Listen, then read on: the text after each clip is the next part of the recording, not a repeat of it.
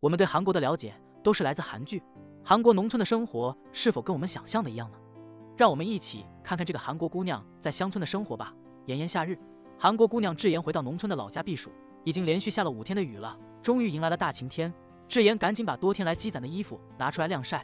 智妍老家有一片土地，他们很多食物都可以自己栽种，洋葱、黄瓜和西红柿等，还有一小块西瓜地。大家都知道，韩国并不是西瓜的主要产地。西瓜在韩国是一种很贵的水果，比樱桃都要贵。一个西瓜要卖到三万韩元，约合人民币一百六十八元。据统计，我们中国是种植西瓜的大国，新疆是主要的产地。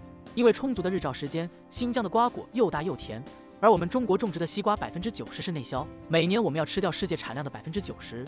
所以虽然夏天来一个冰镇西瓜很解渴，但是昂贵的价格让韩国人无法人人都能实现吃瓜自由。而像智妍这样在农村可以种西瓜的人家也不多。智妍家这块西瓜地也是经过好几年的反复播种，才终于能在夏季收获一波西瓜。可是有时候因为天气的原因，也会有这种结不成果实的时候。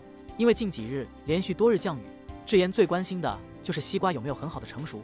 结果真的被他发现有个瓜已经有半边的外皮烂掉了。看来今天要先处理掉这颗懒西瓜了。智妍一边帮西瓜清洗外皮，一边祈祷里面的瓜囊能平安。好在切开后，红彤彤的果肉让智妍松了一口气，是一个成熟的很好的瓜呢。在韩国乡村。很多人喜欢把西瓜套上塑料袋，放到溪水里去降温。智妍家虽然有种西瓜，但是其实个头都不大。每年的西瓜种子播种后，到夏天可能也只能收成五六个成熟的瓜。看看今年的西瓜，智妍用一只手都能托住，而且这些瓜也并不一定会甜。像这样小的西瓜，切开后发现皮厚且里面看上去并没有特别红，所以有时候他们也会把西瓜浸泡在盐水里，提升下它的甜度。今天智妍妈妈收成了很多洋葱。智妍中午打算简单的做个洋葱牛肉拌饭，先把洋葱洗净切块，然后放入锅中翻炒，等洋葱有稍微变软后，加入牛肉片，炒熟后撒入些黑胡椒，淋上蛋液后搅拌均匀，就可以出锅了。在盘子里装上白米饭，把洋葱牛肉放旁边，撒上葱花就可以了。简单的午餐加上两碟菠菜和黄瓜泡菜，获得了爸爸妈妈的赞许。在韩国，泡菜是国民食物，几乎每顿饭都离不开泡菜。而到了冬季，每家每户都会自制泡菜，而且泡菜的种类也非常丰富。像我们熟悉的白菜泡菜，在韩国还有萝卜泡菜、桔梗泡菜、黄瓜泡菜、苏子叶泡菜等等。可以毫不夸张地说，在韩国万物皆可泡菜。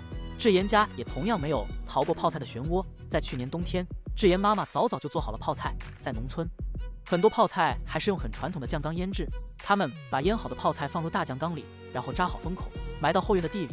这种传统的做法不仅能让泡菜熟透，保持它的原汁原味，而且还便于长时间的保存。经过几个月的腌制后，现在正是可以挖出来检查下味道了。为了不让土块污染到里面，智妍妈妈用塑料布盖了里，三层外三层的。然后揭开盖子后，剪开包着泡菜的塑料袋。智妍迫不及待地伸手把里面的白菜泡菜取出来，一股酸辣的香气扑面而来。看来这次的泡菜很成功啊！取出一些后。智妍妈妈重新把酱缸封好，等下次要吃的时候再取。今晚能加餐了。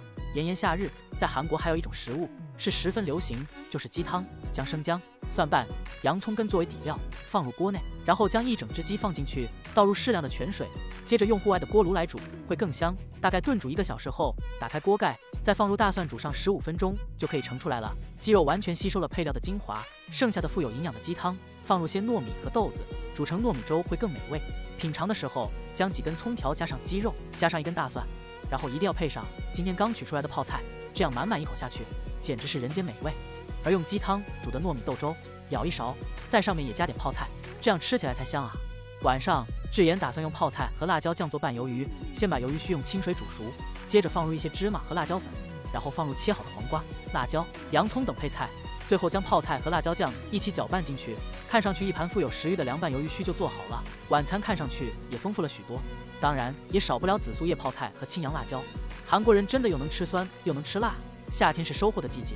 虽然智妍老家的西瓜，因为接连的雨天很多都已经枯竭了，但是至少还剩下的四个宝贝，希望来年能多收获些吧。